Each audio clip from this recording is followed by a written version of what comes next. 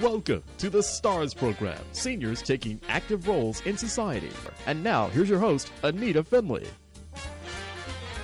Mark Sunshine, welcome to our show, and thank you. You always have so much to talk about. So, you have things that are happy, but sometimes things aren't so happy, but that's what you do. You have a lot of experience in this world helping people. So, tell us what you, you just found out this week. So, in the last week, we had two cases that I thought would be interesting to everybody. One is a couple that lives down here in Florida. They're both 77 years old, a husband and wife. And the husband is very, very sick. Um, he had um, hip re- double hip replacement, double knee replacement. He's diabetic. He's having trouble getting out of bed. Um, he's getting bed sores and he's uh, he's reaching a point where he's going to need 24 hour care. His wife works full time. Um, she's still a, a first grade teacher and goes to work every day and comes home at night and is exhausted when she gets home. And um, right now, um, because he's uh, still post-operative uh, on his double knee replacement and his double hip replacement, he's got physical therapists and occupational therapists and people coming into the home, but those benefits from Medicare are about to run out. And uh, his wife, who works full time, is unable to care for uh, his needs uh, on a daily basis. Mark, does he have long term health care insurance? No, he doesn't. Oh, boy. No long term health care insurance. Um, and uh, the couple's trying to figure out what to do, and they came to us at Sunshine Senior Help to ask for advice. Um, and very, very, very tough situation. Um, very, very tough situation. Um, we um, immediately um, referred uh, the couple to um, a geriatric care uh, consultant. for somebody, I think the last time I was here, I talked about geriatric care helpers, yes. and they're people that organize and help bring in people um, into the home, uh, sort of like the angel on the shoulder um, of the uh, uh, of the people that need help. And um, uh, actually, today, shoulder um, of the uh, uh, of the people that need help. actually, today, act, today, um, the evaluation is going to be taking place with the geriatric care counselor. And this couple also has a unique thing. This was a second marriage. The wife who's working full time, doesn't have any children. And when her husband passes, um, there's going to be nobody to take care of her.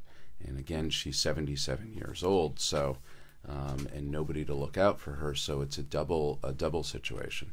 Um, the first thing we need to do is make sure that um, the wife is able to get enough help to take care of her husband. And then, after her husband passes, which is going to be relatively soon given how sick he is, um, figure out how to take care of her and make sure that she's able to live independently for as long as possible. I, I want to talk to you about something because when people are listening to this at home, they get very depressed. They get very sad. They say, Oh my goodness, is that what I'm going to have to live through? And of course, you know that that's not true. There are so many ways that people can look ahead, take care of things, and, you know, just like health health wise. I don't know what this man did before, but certainly can start exercising, can eat properly, can do a lot of things. So, those of you who are listening, this does not have to be your fate, correct? Um, I think that in I, I haven't met the husband, so I can't I can't comment on that. But certainly, the wife, um, who's now the principal caregiver, she's in great shape. I mean, she exercises, she eats properly, she does everything she's supposed to. The husband also, I should have mentioned, is morbidly obese and is putting on more and more weight because he can't exercise because of all his healthcare healthcare issues. But the question here is how do we make sure that the husband is as healthy and comfortable and with whatever time he has remaining um, is cared for and doesn't wipe out his wife's estate um, and then making sure that there's enough money and enough care for the surviving spouse to then live. She should live another 10, 15, 20 years, um, and she has the best life possible. So, also. how will you do that? Well, the first thing we do is we brought in a, a geriatric care manager. um, one of those angels on the shoulder of uh, of the patients, um, of of the clients, to make sure that we understand what the home situation is, um, see what kind of need uh, care needs are going to be necessary, and if you will, prescribe uh, a solution to uh, how to care first for the husband, and then uh, make sure that the wife, who's going to be all alone after her husband passes, um, that the wife has um, somebody somebody to help her who looks after her like a child would if there was a local child. I want everybody to know if you've just tuned in, this is Mark Sunshine. He's the CEO of Sunshine Senior Help. And if you want to make that contact, just write this number down. Remember, this is Pencil Talk Radio. So you would put down 561 203 0490. Is that what my, our number is? I well, I actually number. I actually wrote down 561-423-1671 for our website. Oh, okay. okay. Well, let's do that. Do it. No, let's do that. Yeah, what is 561-423-1671. 423 uh 1671. Okay. And again, it's Sunshine Senior Help. And they can go and the website is is up and running. Yeah, absolutely. Okay, that's absolutely. what we need to do. Yeah. So I, I'm glad that you're here doing this this morning because this is just a sample, isn't it, of well, that, what's going on here in South Florida? Oh, absolutely. But there, again, there were there are two elements. The first element of what we're looking at with this couple was making sure that we get somebody in the home to help them take care of each other, and then to help take care of the wife. The second question is, how are we going to pay for this? You know, because uh, it turns out uh, they don't have long term health care insurance Medicare is about to terminate benefits for uh, uh, physical therapists and occupational therapists and that whatever for coming at home into the home. So the next question is, what do we do to pay for the care needed for the husband? And then some number of years from now, how are we going to pay for the care that's inevitably going to be needed as the surviving spouse, the wife, ages uh, ages in place? So, do you have answers? Well, we know who to call to get answers. Uh, we know which lawyers to bring in and which consultants and things like that to maximize benefits, uh, government benefits available, and uh, uh, uh make sure that the wife's assets are available to, to pay for health care that is not otherwise uh, being paid for by government benefits. And people have this misconception, right? There's this um, uh, for a whole bunch of reasons. Uh, I don't want to speak ill of. I happen to be an attorney, not licensed in Florida, so I'm of course not giving Florida legal advice. You're just smart. uh, well, I'm not licensed in Florida. That's let's just okay. say that. All right. but people have this misconception that you need to impoverish yourself to maximize government benefits. And they go and visit attorneys that frankly don't know as much about what they're doing as they should and they talk about spend down plans and five year lookbacks and all sorts of stuff that are ostensibly true under the Medicaid laws. But if you go to a skilled elder care attorney, of which there are very few who actually know what they're doing in South Florida, you can, in fact, maximize your government benefits without impoverishing yourself.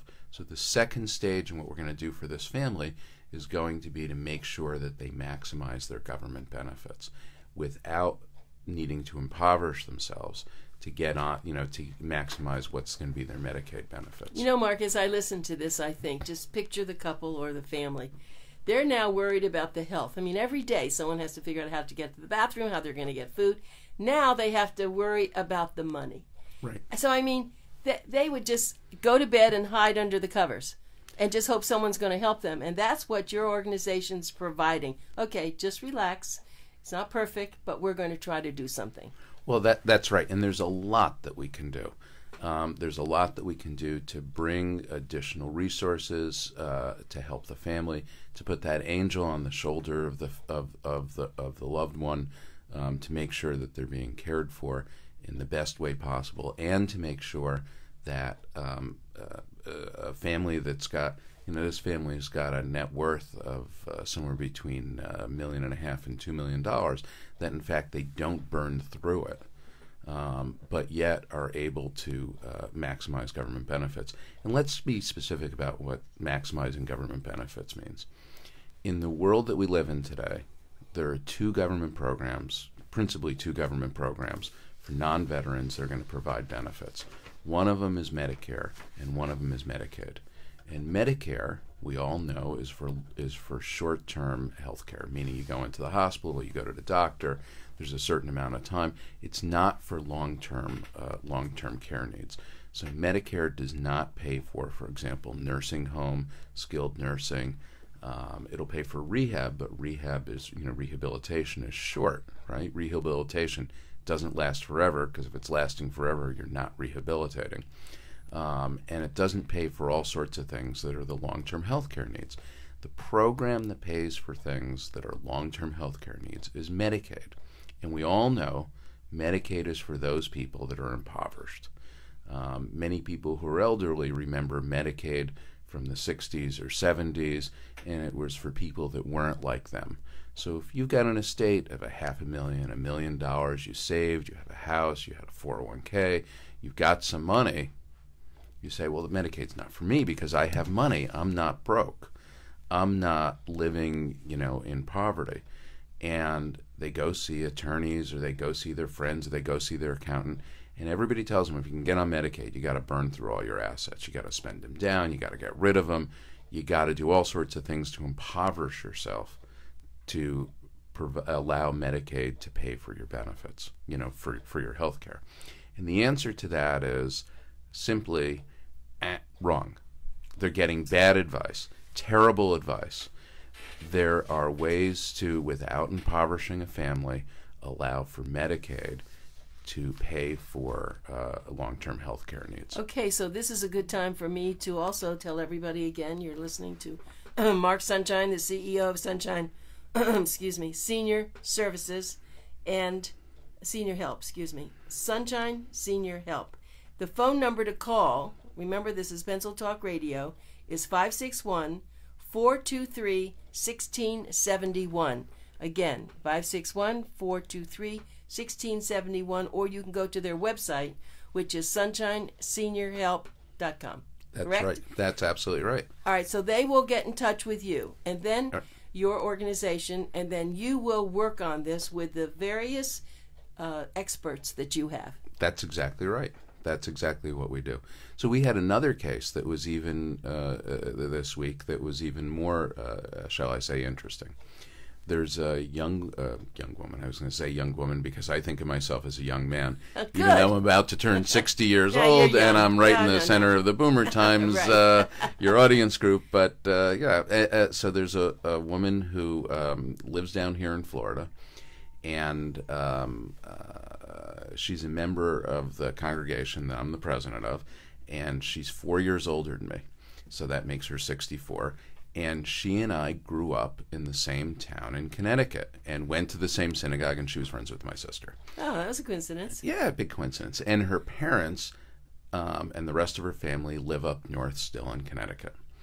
And she lost her mom uh, about two or three weeks ago. And I called her up to offer my condolences. And I heard what was a very uh, sad story. Dad is still alive. I never knew mom and dad when I was a kid, but dad is still alive.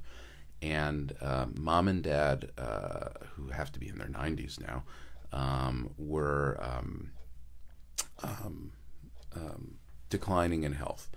And what the family had was they had a long term health care uh, policy that had tremendous, wonderful benefits, but had a lifetime cap or has a lifetime cap. Just before dad died up in the New York area, um, the monthly um, healthcare costs for bringing what was essentially four aides into the home full time because each parent needed two aides and infusion therapy and all sorts of stuff uh, was running $23,000 a month, which uh, in my book is a lot. Anybody's book is a lot. Right, but it was caring for two, for two people, and they own their own house, and uh, the estate's probably a million and a half, two million dollars, somewhere in that neighborhood. Um, and uh, mom passed away, and sometime in the next two or three months, um, they're going to run up against their lifetime cap um, on their long-term health care insurance, which means there's going to be no more money for dad. So um, we're looking at some choices. Um, the first is um, there's no um, uh, caregiver up in the New York area in Connecticut to coordinate care. And the child who's down here, and usually it's the reverse where the parents are down here and the child's up in the New York area. Um, the child down here um, is pulling her hair out, flying back and forth to New York and Connecticut, trying to coordinate care. The second thing is they're about to run out of money, right? Long term care and uh, uh, long term care insurance.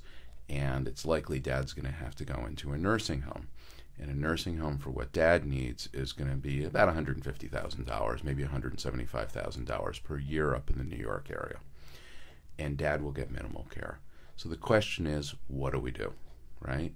This is um, first, in the short term, a question of coordinating the care and helping out the child who's 64 years old so that she doesn't turn to be 84 years old from the stress, if you will.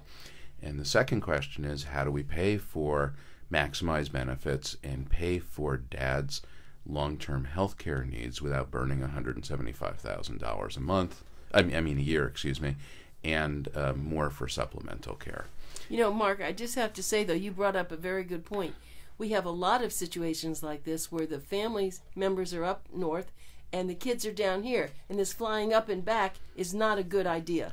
Well, even more than that, um, the parents did something um, really unfair to her, to their child, which was um, when both mom and dad were alive, and now just dad, they refused to address it. They didn't provide the daughter with the necessary powers of attorney. They didn't trust their daughter to, and maybe it wasn't a question of trust, but so many people just want to avoid the problem. They don't want to admit their um, uh, the fact that they're going to need help. They don't want to admit that they're um, uh, that there's mortality. You know that we're human beings and we all have an expiration date, and they just sort of ignored what was going to happen.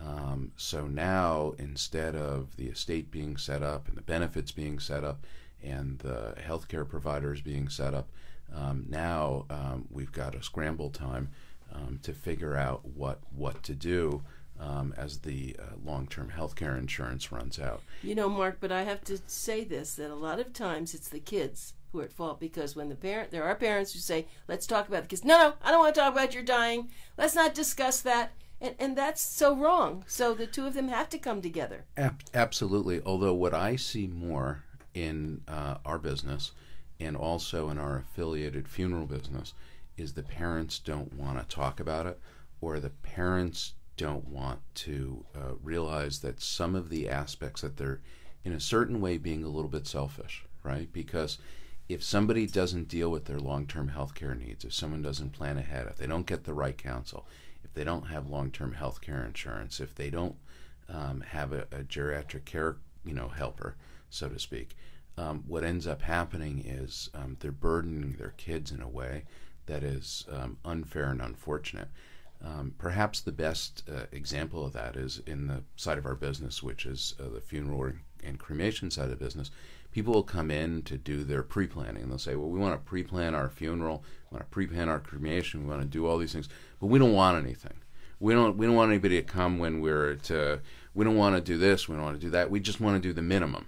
We want to do the minimum. And they don't understand that their funeral, their planning, their health care, they're doing this not for them, they're doing this for their children.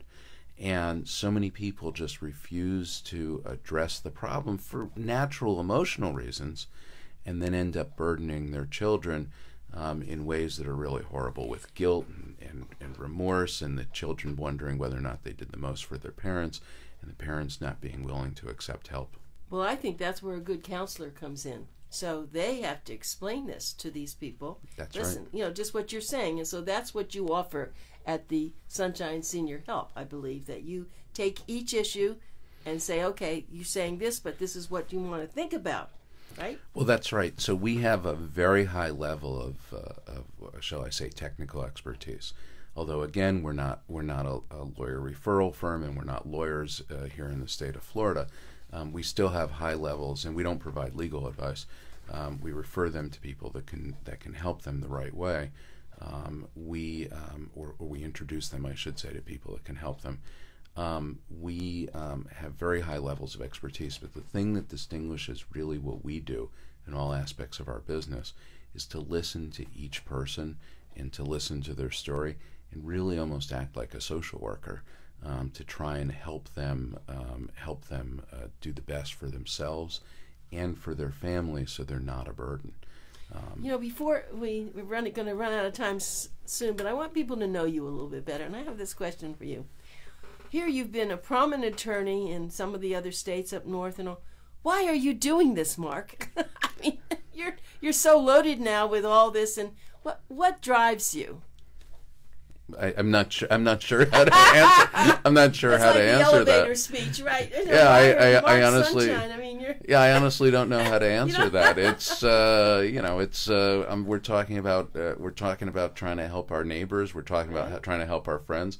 I'm talking about trying to help my peers, um, my family. I'm not I'm not sure how to answer that because that's like what we're supposed to do. Yeah, you know, right? Because well, uh, and you're such a professional that you're taking all your years of experience and that you've been doing things in a big, wide world of finance and and law, but now you realize that this is probably one of the most important things that are happening to our our boomer and elder population, and so you've jumped in feet first. Yeah, it's it's happening to our boomer and elder population. It's happening to ourselves. I guess I do know the answer to that. Okay, good. So, um, um, uh, you know, I'm I'm Jewish. I'm president of a synagogue, uh, Temple Beth El, greatest synagogue uh, in America, at least I believe. It has a one great of, reputation here. yeah, also one of the few growing synagogues with a vibrant community and financially well off and great management and a fantastic clergy. But, um, you know, as a as a, a, a Jew, there's um, certain commandments that were, and by the way, this would be the same for Christians, Muslims, Catholics, right? Everybody believes in the Old Testament. There's certain commandments that were were were given um, in the in the Torah. And I think there's actually 613 commandments in the Torah. Not that I follow everyone, but there's there's one of them uh, there that's mentioned a few times about uh, uh, loving thy neighbor as thyself. You know the sort of golden rule. And I'm a big believer in actually um, um, that particular ethic, which is, um, you know, depending on how you how you phrase it, you know, don't do unto others that you wouldn't want done to yourself. Love your neighbor as yourself. Um, you know, treat That's everybody it. like family. That's kind of that's kind of it. And we've got this yawning need out there. Um, and it, again, it's it's it's my friends, it's your friends, it's our neighbors. We're in the age group, and if we have the ability to help others, I think we should be doing it. I love that. See, and that's why you you are doing this. You've taken all your experiences, I said, and you've put this into this this um, beautiful pot of gold in a sense. And so people have to respond. So I'm going to give them again your phone number, which is 561 Two, three. 423 1671. 561 423 1671. And just look up sunshineseniorhelp.com and you'll be able to talk with whether it's Mark or one of your staff members. Um, I am really happy that, that you're doing this. And one thing that you have said, you have to be very careful who you go to. As you said, it has to be the right attorney, has to be the right financial planner, the right funeral person, the right geriatric care managers, and that's I think where you just ease it in and you they talk to you and you give them choices. You know, you, you explain. Absolutely. So Ab- absolutely. And I, I've, I've, I've spent a lot of time with the vast majority of the, uh, I shouldn't say the vast majority, with, with many of the elder care attorneys down here in South Florida. Um, I have, uh, you know, because of my professional training and knowledge, the ability to figure out who's good and who isn't, who just hung up a shingle and claims to be an elder care attorney and is really a divorce attorney um, or a family attorney um, and isn't really who they claim to be. Well, Mark, this has been wonderful, and I know that you uh, will continue to do things with us. I'm looking forward to some excitement with with your business and uh, and with your um, and your organizations. I mean, you're you know you're a very uh, gratuitous person, and I'm happy that you're here. So, thank you. I know it was early this morning, but we appreciate it, and we will uh, we will talk to you again. Okay, great. Look forward to it. Thank you so much.